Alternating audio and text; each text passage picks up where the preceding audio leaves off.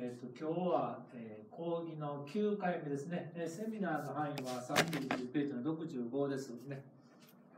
今日は教科書18ページのダイヤモンドの構造というところです。で、えー、これ、期末の試験にの範囲になるかなと思うんですけども、一番やっぱりあの難しいところですね。あの頂点のところです。難しいところ。で、えー、ダイヤモンドの構造ってこうちょっと書いたんですけどね、立方体。立方体を書いたんですけどね。ちょっとこれ見てくださいね。これね、こんな構造してるんですよ。えー、まあ、頂点。ね、これ頂点が 8, 8つありますよね。で、面の中心。これ面の中心に、えー、これまあ半分入ってるんですけど、これが6個あるよね。6個。えー、サイコロとしてから6個と。で、ど真ん中に、この真ん中にね、この真ん中に1234個入ってるんですよ。こんな形で。でこういう形でずっと3次元的につながっていってるやつがダイヤモンドなんですけど今ね、えー、注目してほしいのはねこれこれ見てもらえますか？これね。このど真ん中のこの真ん中のこの炭素ね。でこいつはね、えー、の一番近くにある C はね4つしかないんですよ。一番近いというのはねこいつとこいつと、こいつと、こいつや。これから見たらね、あの、一番近いやつは、この面の中心、こっちの面の中心、こっちの面の中心、で、この頂点。こ4つ。この一番、えー、真ん中にある C から一番近いやつは4つなんですよ。4つね。これが正四面体の中心なんですけどね。正四面体の中心。この、えー、中心ね。えー、1、2、3、4、こうなってるんですね。これ正四面体の中心で、これ正四面体の頂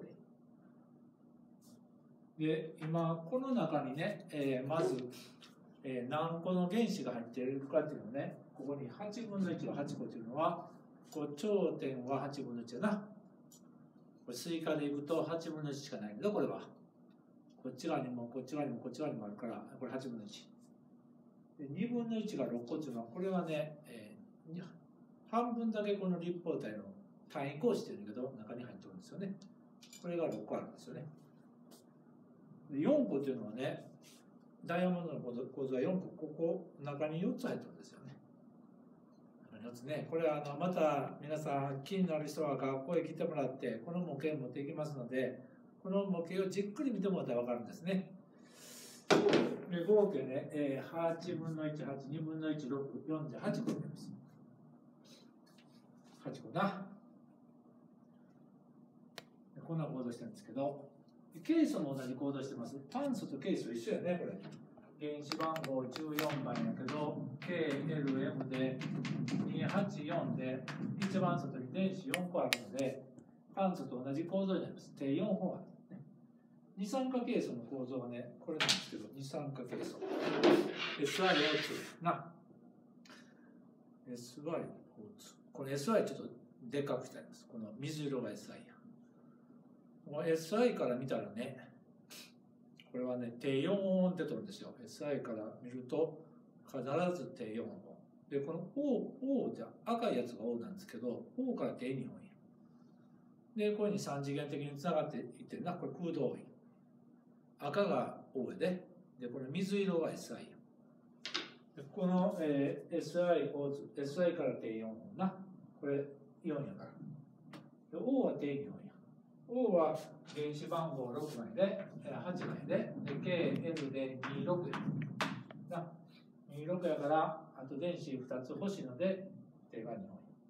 こういう形で三次元的につながったやつが二酸化ケイ素と言って、これが石石ころの成分やな。石の、えー、土の成分。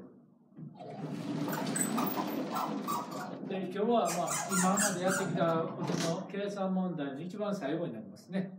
これはちょっとややこしいんですけど、例題に、教科書の例題に見てもらったらいいんですけど、えー、19ページやな。これ、あの、回答見て、解説見てもわからないと思うんですけど、ちょっとまあ説明だけしておきます。で、このビデオをね、何回も見てもらって、教科書の問題も何回も見てもらったら、分かる人は分かるし、分からない人は永久に分かりません。ねでえー、このね、立方体。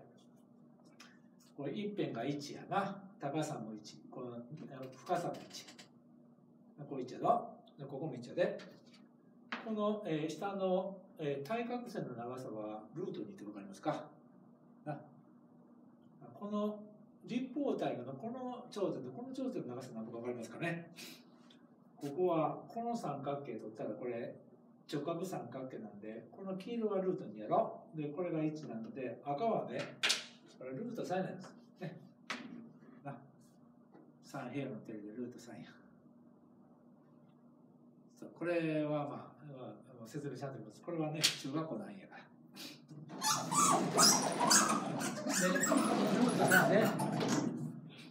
で今ね何を見てほしいか言ったらこれやけどこれやけどな。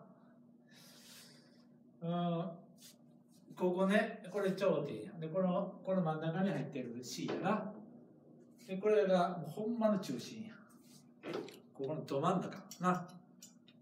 これこのど真ん中とこの中に入ってるやつとこの C 見てほしいけどこいつはねまあこうでっかい書いていったらこいつは半径だけ入っててこいつは直径入ってるよな。こんな形や。な。で、えー、ここの長さを今2分の L やとしたらこれほんまはこの長さが L やねんけど今このこの半分だけを考えてるからな。8分の1だけの立体としては8分の1だけを考えてるんですけどこの長さが2分の L でここが2分のルート 2L だな2分のルート2でこの黄色の長さはいくらになりますか？ということなんですけど黄色の長さはね、これ直角三角形で、これ2分の取ったら1対ルート2やから、ルート3やな。2分のルート 3L になります。でこの2分のルート3 L という長さのところに、こ半径と直径とこ半径が入ってるな。これが 4R に相当します。ここね、えー、4R。この長さ、黄色は 4R で、この、えー、一辺の長さが2分の L。それがね、ルート3対1なんだよな。ルート3対1。でこれ計算するとね、R は8分のルート 3L ということです。この R 半径を出そう思ったら、この、えー、長さ、一辺の長さから、えー、半径がわかるんです。これが1番目の問題。その次。その次はね、これ前やったやつなんですけど、L3 乗というのはこの立方体のこの体積な。立方体の体積が L3 乗で、それに密度をかけますよね。密度。この重さを出そう思ったら、密度をかけるんです。ね。立方センチメートルに密度をかけたら、質量が出るんだな。質量。で、8分の1っていうのは、この立方体の中に8個入ってるからこれが8個の原子8個の質量やな8分の1いきますだえー、ここまでが原子1個の原子1個の質量やな原子1個の質量とでアボガドロ数かけたら、えー、式量になりますダイヤモンドの式量と今 D を求めなさいということなんで、これ D イコールに書いたら終わり。これ前やりましたよね。それの、えー、と同じ式です。ね、ここ8分の1になってるだけ。免震立法の場合は4分の1。耐震立法の場合は2分の1にして。あと変形したら終わり。これ難しい。今難しいですよね。今日関連する問題が、これ多分8点なのかな。ちょっと、あの、えー、中間期末の試験からあこの問題は外れるか分かりませんがこれやっといてください。はい、終わります。